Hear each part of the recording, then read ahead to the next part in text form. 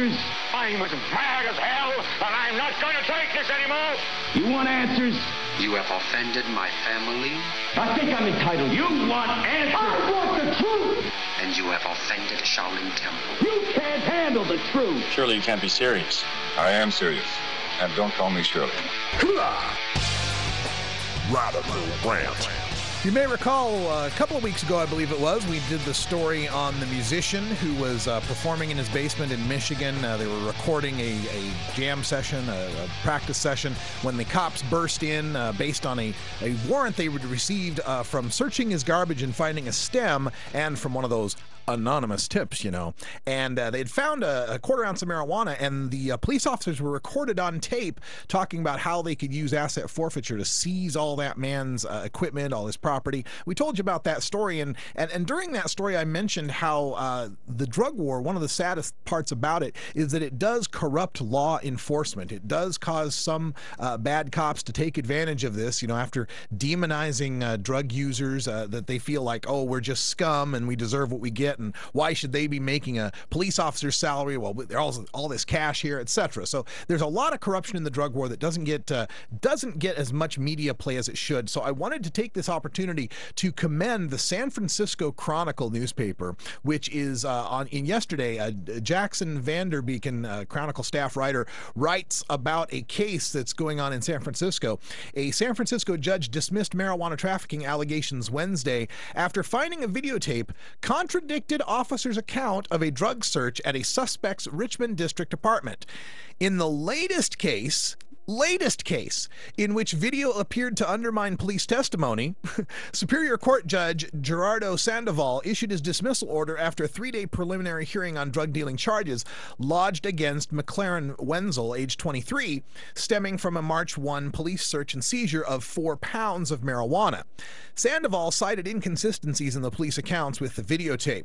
Now, this case, this new case, uh, uh, has strong similarities to the scandal unfolding against eight Southern Station officers who have been reassigned from a plainclothes detail after videotapes appeared to contradict their accounts of several drug raids in a Tenderloin single room occupancy hotel. So far, that scandal has triggered the dismissal of 76 cases and an ongoing FBI probe. All right, so here's what uh, happened as we get down further in the stage. Uh, the the uh, story here is that the officers recounted that they were answering a report of a possible marijuana grow operation inside the building on 33rd Avenue and Geary Boulevard when they encountered Wenzel, the 23 year old, uh, as he came out of the unit. They said that they had their stars visible outside their clothing, you know, their badges, right? They had their stars visible outside their clothing when they talked to the 23 year old who admitted having a small amount of marijuana. All right. Uh, and showed them his prescription note, his medical marijuana recommendation note. Again, the media, after 15 years, does not understand it's not a prescription, it's a recommendation. Anyway, he showed them his recommendation note and then let them in 30 seconds after he went back inside his unit, uh, according to police here.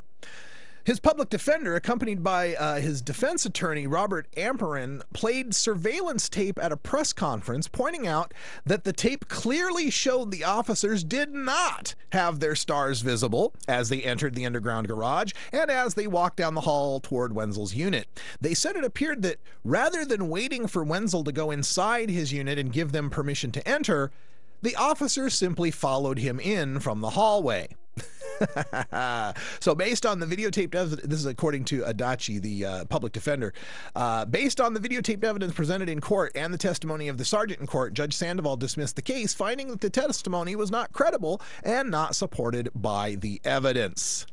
Uh huh. And this is just the newest case. Again, the previous case they're talking about, 76 cases have been dismissed uh, in this uh, in this scandal going on in San Francisco.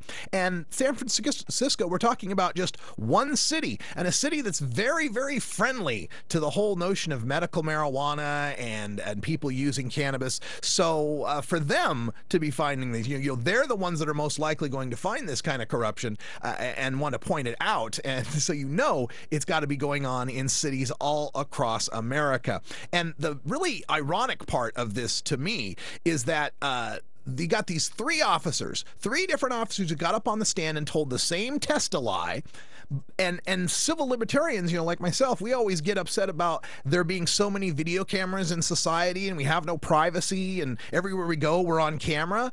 Isn't it kind of ironic that to protect the civil liberties of this man, this 23 year old Wenzel, uh, from these cops lying on the state the stand, was because there were all these surveillance and video cameras around. That now we have to have the surveillance and video cameras around in the public sphere to protect us from the law enforcers. And it's also quite tragic, if you ask me, that in, I believe it's 12 states, maybe it's 13, I'm not sure exactly right now, but uh, in a number of states in the United States, you uh, can be prosecuted for videotaping the police on your own. Uh, there's all sorts of wiretapping laws and secret recording laws that they'll use against you. So that if you try to film uh, officers doing their job uh, in the course of trying to arrest or investigate you, you can be prosecuted for obstruction of justice. How's that for life in the land of the free under the drug war?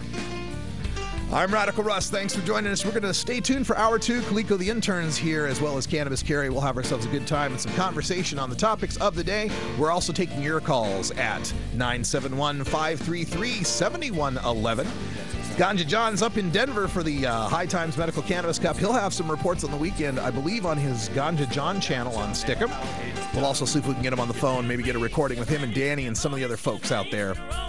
So we will be back next week for another week of podcasts. For those of you staying here live, uh, ho- hope you stay with us the whole hour, and also stay tuned for the rest of the shows coming up on the NORML network. For Ganja John and Cannabis Carry Out Radical Russ. Until next time, take care of each other, tokers. And happy April Fool's Day! We love the earth. This is NORML Show Live.